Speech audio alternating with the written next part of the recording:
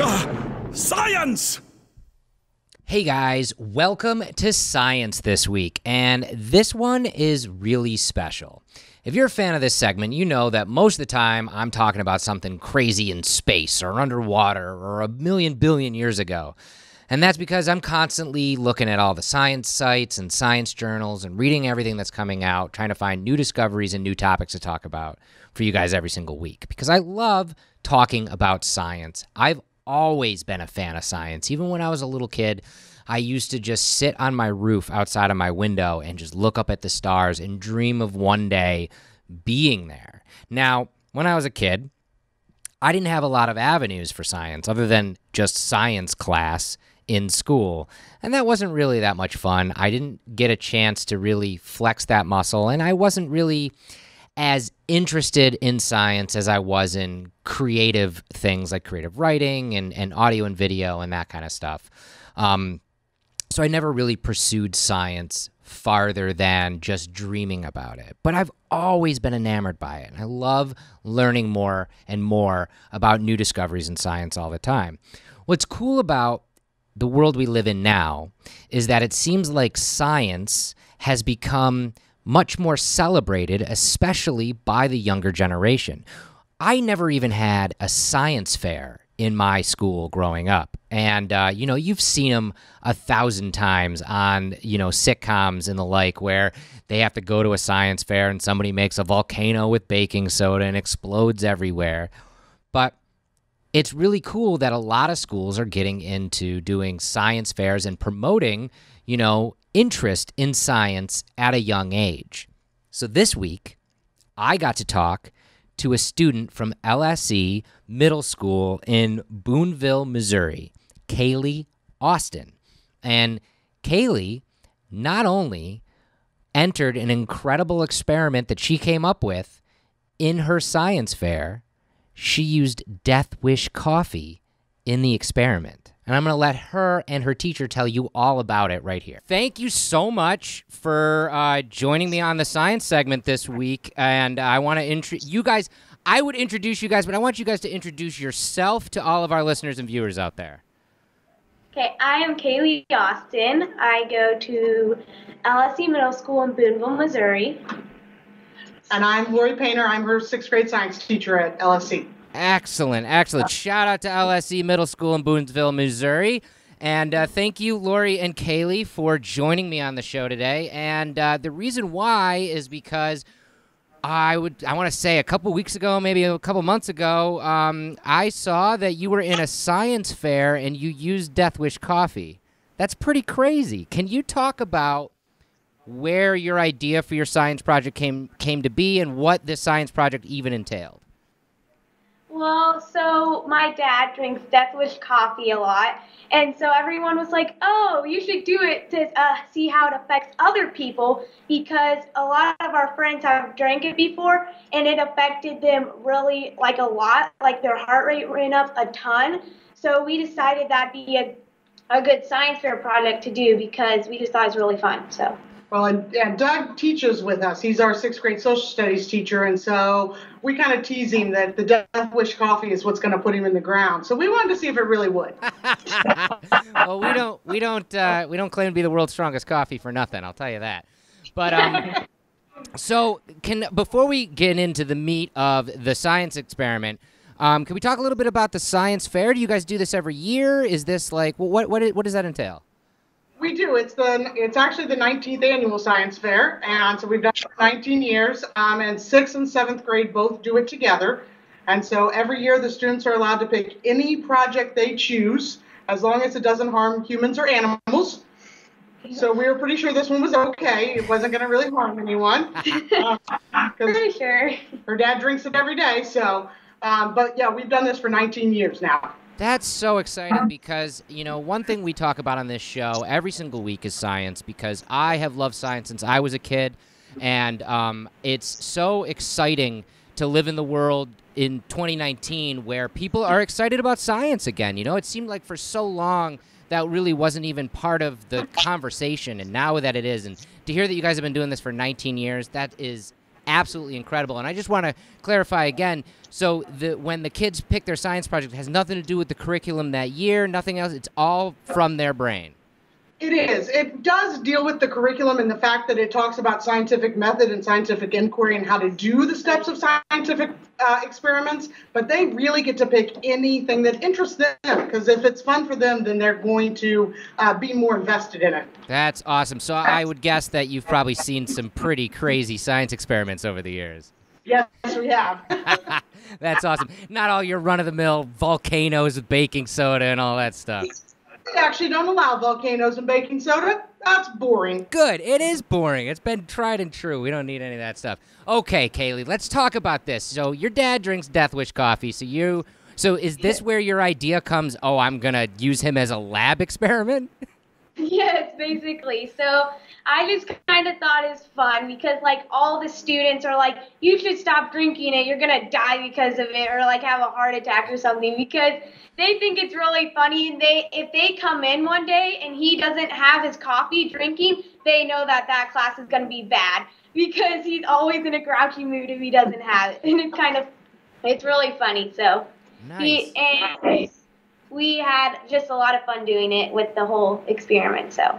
So, so walk me through it then. You, you're, you're, you're testing the heart rate in your father on different cups of coffee. You used, did you just use Death Wish? Did you use different brands? We use different brands. We used um, Dunkin' Donuts, Death Wish, Folgers, and a Barissimo white chocolate. So we did different kinds to see how it affect your heart rate. Yeah, and different people. We didn't just do it on him. So, That's good. That's good. How did you measure the heart rate? so we did it by his average resting heart rate. So first we just took everyone's average heart rate by putting it on their pulse and then taking the time. And then I think we did for a minute, right? Was it a minute? A minute? Yeah, it was a minute. And then we did it after 30 minutes to see like how it affected after 30 minutes. And then after that we did 45 minutes. So to figure out how it worked. So And and I'm I gotta say, Death Wish won, right? yes, it had a really huge increase compared to the others. Except for in her dad. yeah. My Ah. dad made it drop a lot, so we added up everyone's like heart rate, and then we found out like what the average was, and he made the average drop like a lot. So Wow. that so I wonder if that's because he drinks Death Wish all the time. That's what we think. Cause when did you start drinking it? About three and a half years ago. Three and a half years ago. So it's been in his system for a while. Yeah.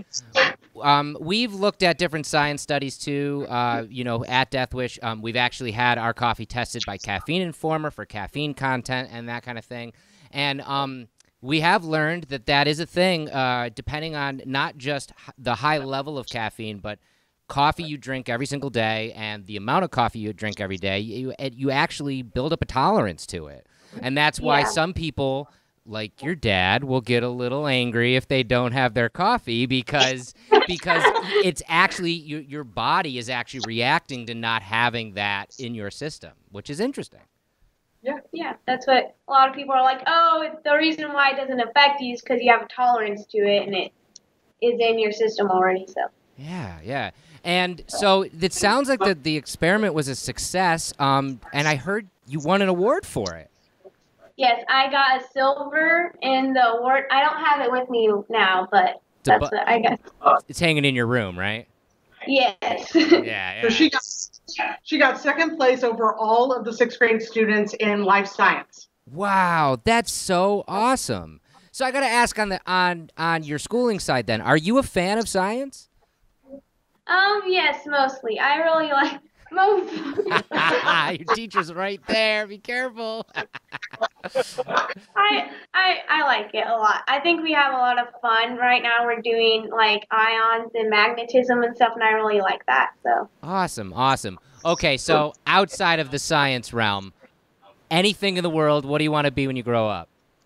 I want to be an interior designer. Ooh, I love it. I love it. That's that's that's an exciting field, and I mean, there that's becoming the norm now. I mean, there's so many television shows about it and everything else. My wife loves all that stuff. That's really cool. Well, I hope I hope you can pursue that and figure out the scientific reasons why furniture looks better in different areas of the home. That'd be pretty cool. There you go. Yep. Um, so I- so what are you gonna do from here? Are you gonna keep testing experiments on your father? We Most likely, yes. I think. What did we say we are gonna do next time? Maybe not. Oh, um, we were doing gonna do something else that had to do with like Death Wish coffee still, but like maybe a different realm of it, like something. All right, all right. We always love to hear more science when it has to deal with coffee because, like I said, we love science here at Death Wish Coffee. I don't know, I'm I, I don't know if you guys heard or not, but um, because of this very podcast that you're on, I was as lucky enough to interview an astronaut very early on in our in our um uh in our show, a retired astronaut by the name of Nicole Stott. She was uh, the first astronaut to paint in space. She spent 100 days on the International Space Station, and she said that when she gets done with a spacewalk, the first thing she wanted was a cup of coffee.